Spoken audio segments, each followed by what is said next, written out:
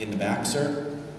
Uh, my question is compared to the, the BI tool in the market right now, what the advantage about the, the Oracle BI tools? So I think the question was, what, what are some of the additional advantages of the Oracle OBIEE versus the other uh, business intelligence tools? Yeah. Yeah. I mean, I think we heard two of those out of Joe. I'll, I'll add a third, but just didn't have enough time, but, uh, you know, it's the only metadata model I know that can actually do heterogeneous access to data. Right. Uh, Other BI vendors can put heterogeneous data, in other words, um, that, that other company in northwestern United States that has a smaller Windows-based database as well as Oracle and things like that, they can, but they have to have separate metadata models for everything, and then they bring it together. OBIEE's model can actually bring in multiple sources in one subject. Very important, it makes it a lot easier to do than if you're doing a simple thing like financials, where you might have eBiz Suite or Edwards or PeopleSoft, but your planning and budgeting system is still in some Excel spreadsheet. One metadata model, all data, very easy.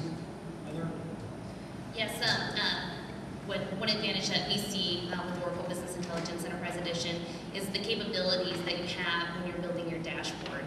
Uh, I had mentioned during my presentation that you can allow your end users many different permutations within a dashboard that you don't necessarily need to roll answers out right away.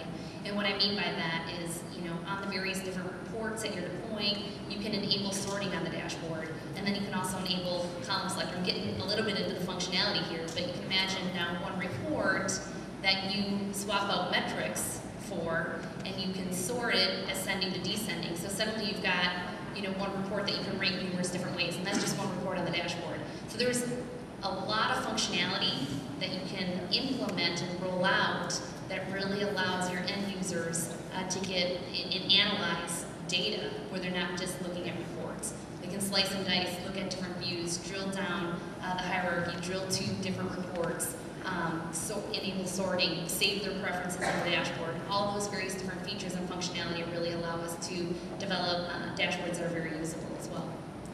One more point I'd point to is scalability. I think hopefully as you're attending these sessions, you see that the, all, all the customers we have speaking, and in most cases, they're talking about hundreds and thousands and tens of thousands. And there's a session we're doing on Thursday where there's a customer looking at scalability in a hot pluggable environment with hundreds of thousands of users. I see a lot of BI tools and a lot of BI projects out there that they talk about their great success with 20 and 50 users. Any BI tool can handle 50 users. It's when can you handle hundreds and thousands of users and do that in a scalable fashion. Scalable both in terms of number of users, but scalable in what it takes to support that many users. I think OBIEE is pretty unique in that space.